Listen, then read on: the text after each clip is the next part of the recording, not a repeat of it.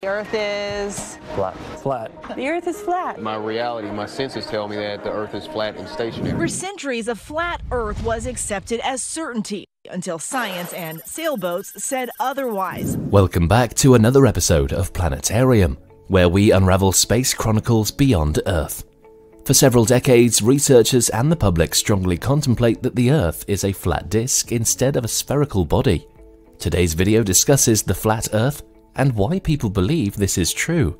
From 1519 to 1522, Ferdinand Magellan and Juan Sebastian Elcano completed the first circumnavigation of the Earth, proving that Earth is a sphere.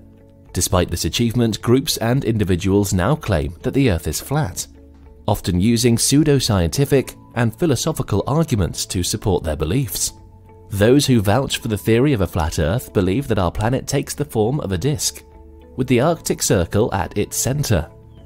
According to this view, the continents are distributed across the disk with Antarctica at its outer edge. Other proponents of the flat Earth theory contended that the Earth is disk-shaped, with the Arctic Circle at its center and surrounded by land masses.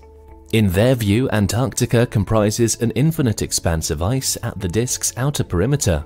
Essentially, they posit that the Earth is an unbounded plane, with its north, south, east, and west directions stretching out indefinitely, marked only by the endless expanses of ice. While most people accept the Earth's spherical shape, members of the Flat Earth Society, including notable figures like Atlanta rapper B.O.B.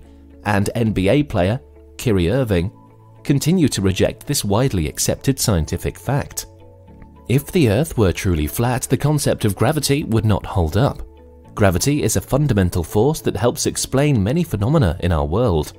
Flat earthers contend that gravity pulls objects straight down to the landmass rather than towards the spherical Earth center, as mainstream science accepts.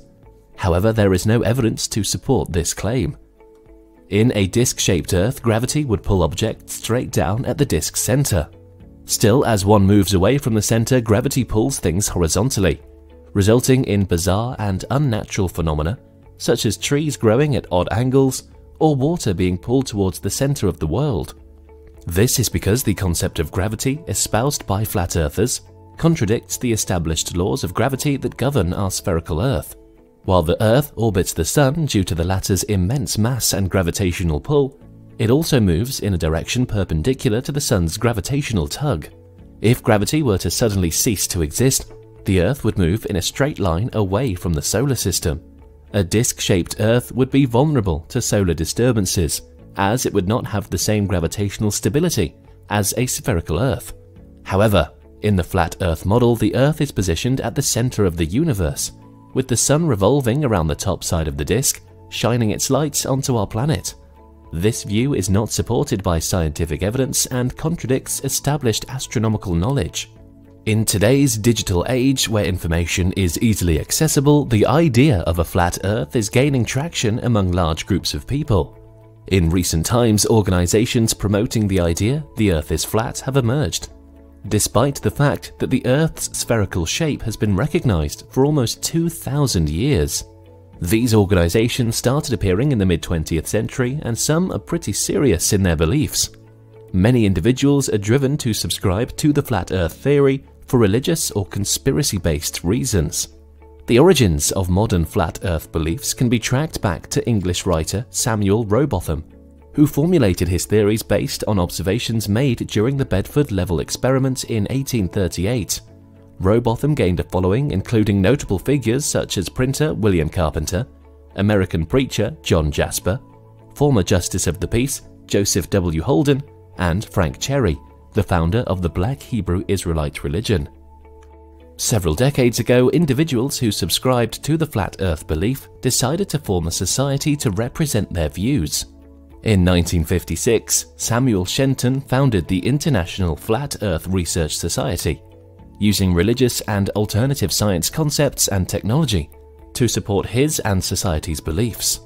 This society has faced considerable backlash, with American anthropologist Eugene Scott describing its members as extreme biblical literalists. The Flat Earth Society has been critical of organizations like NASA and the US government, which constantly contradict their beliefs. The society experienced a decline in membership during the late 1990s, but was revived by Daniel Shenton in 2004 through web based discussion forums. This led to the Society's official relaunch in 2009.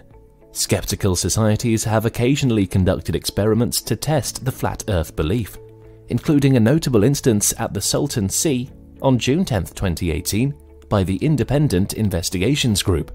National Geographic Explorer documented that flat Earth supporters were present during the experiment. The disappearance of a boat on the horizon demonstrated the curvature of the Earth. The documentary, Behind the Curve, followed two groups of American flat earthers on a quest to gather evidence to support their beliefs.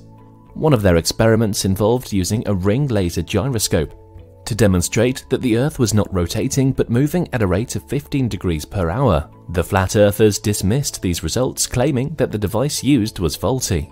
Another group attempted to use lasers to measure the distance between the water level and a laser beam across three vertical posts spanning several miles of water.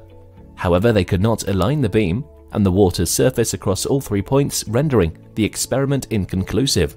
In August 2017, a solar eclipse prompted a flurry of social media posts, claiming that it was evidence of a flat Earth. Videos making this claim were widely circulated on YouTube. Many YouTubers have embraced the flat Earth theory, promoting various associated beliefs. In 2019, famous YouTuber Logan Paul released a satirical documentary titled Flat Earth to the Edge and Back, which sparked numerous conversations and discussions.